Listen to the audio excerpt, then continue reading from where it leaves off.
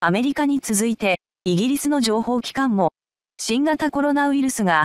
中国の研究所から流出した可能性があると見ているとの報道を受け、中国外務省は、政治問題化させるなと反発しました。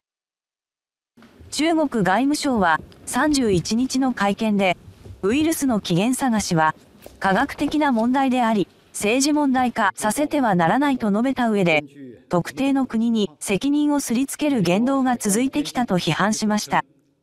さらに、他の国も中国と同様に、WHO の専門家を招いて起源探しを行うよう呼びかけるとしました。